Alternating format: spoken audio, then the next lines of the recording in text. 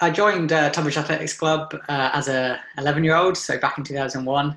I followed my sister kind of into it. My parents encouraged me and my sister to kind of do sport and uh, keep fit, meet new people, and it was purely for fun. It I never dreamt it would become ultimately my job at all.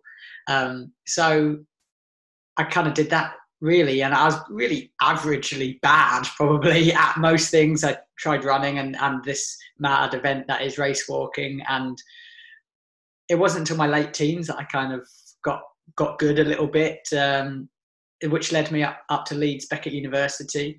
Uh, I left Kent as a 19 year old and went to uni, and uh, that's kind of where my new setup and support uh, started started to grow uh, with the kind of medical side of the university, my new coach, and it was kind of finding my feet as trying to be this full-time athlete slash student. And yeah it led on to competing at the commonwealth games as a 20 year old and a couple of years later i made gb team for the european championships in zurich.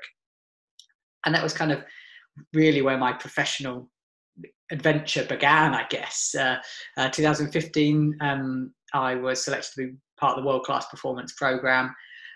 And pretty much from there you know, each year's got more exciting, and uh, major championships have come and gone, and yeah, become an Olympian and uh, Commonwealth Games silver medal, and it's I've reached levels I, I never dreamt I would.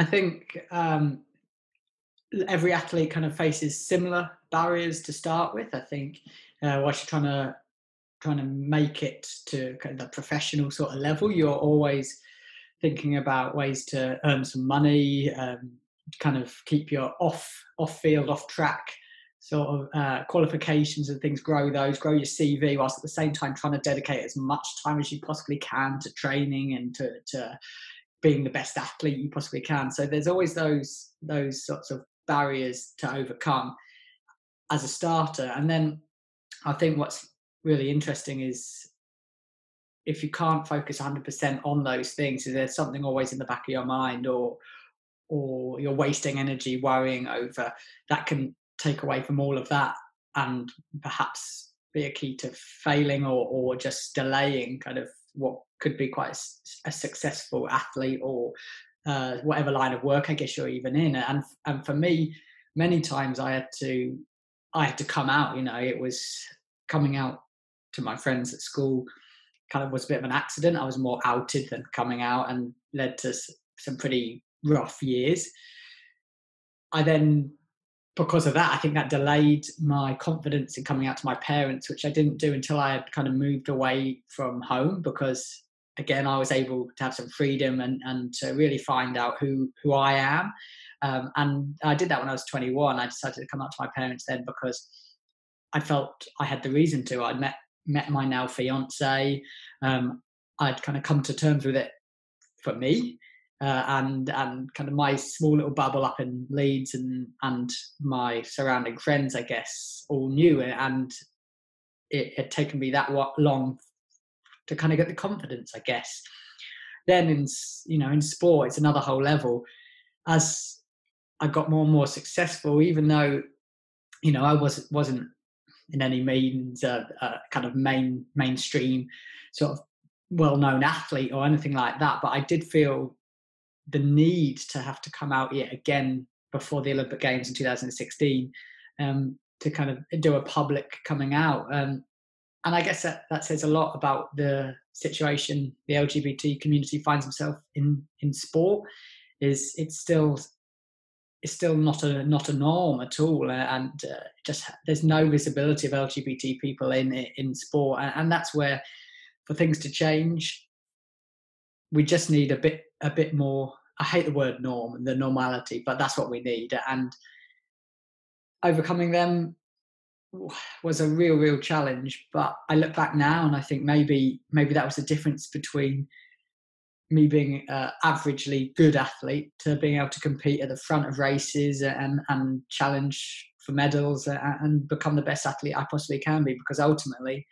I'm not wasting that energy and, and worrying about what other people are thinking of me or hiding who I truly am. And I can focus 100% on what I want to do and that's and that's perform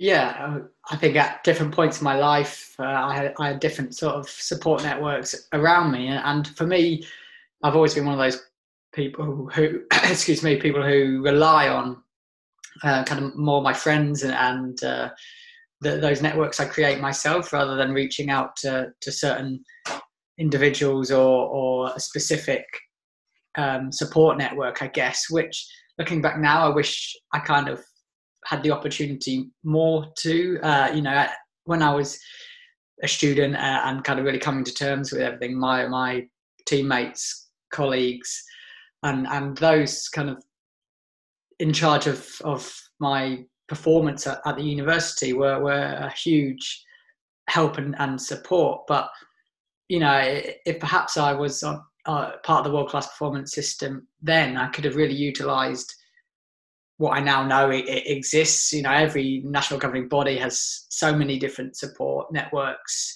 Um, performance lifestyle advisors as well are there, and um, you got in athletics we've got the UK Athletes Commission. Obviously, there's the BAC as well, and there's there's so much there that kind of I don't know whether athletes are aware of that, and and it, it can be for anything nowadays because I think that's what is so clear to to our governing bodies and those involved in sport is that if we want the best for our athletes, you want happy and content athletes in themselves, and that's how they become the best um, athletes in the world, and that's how they perform at the highest level because you just can't be trying to support yourself as well whilst trying to be a full-time athlete sometimes you need other people to reach out to. And whilst I kind of relied a lot for me on my on my fiance he, he, changed so much for me as a as a younger athlete when i was 21 22 gave me the confidence to be be who i am.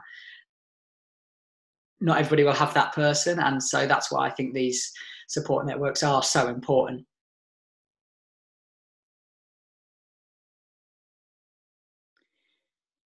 i think there's quite an obvious one for me the, the biggest moment um, was was publicly coming out uh, on, on, television. I, I, think that was kind of it never meant to happen that way for me. I kind of just wanted to write a blog post and kind of just put it out there as kind of a, just as a just so I could control who who knows what, and, and it was from from my heart. But ultimately, um, it, it, ended up on TV because it showed it was such a big thing, and for me, that opened my eyes to to the situation in sport of how, how behind the rest of society it truly is.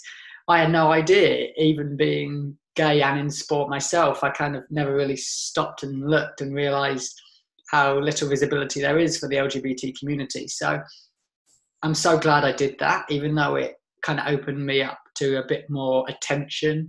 It opened my social media up to a lot more coverage, uh, which brought a lot of positive messages, but also brought a lot of negative messages as well.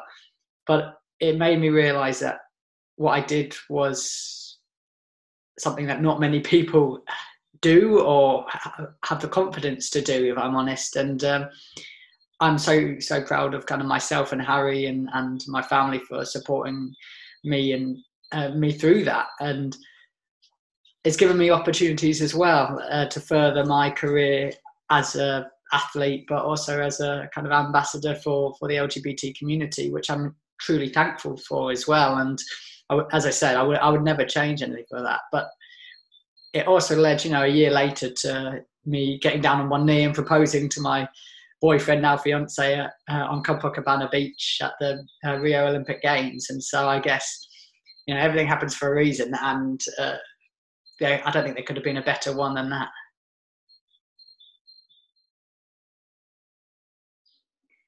looking back now uh, at a younger version of me, what what I'd say to myself is the the sooner you can come to terms with or or feel comfortable in your skin, uh, and, and and I think more importantly, live true to who you are. The better things will get very, very quickly. I look back now and I wish I had never kind of waited so long to come out to my parents. I wish I'd never. Uh, I wish I hadn't kind of beaten myself up for for feeling how I did and and and trying to change who I am because now I, I, I do look back and think I worried for so many years about who I was uh, and being me that I don't think I realized how much time I wasted and, and I never thought how good things could ever be. And I think that's that's the biggest challenge.